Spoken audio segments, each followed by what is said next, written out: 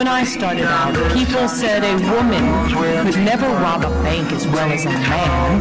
Well, times change.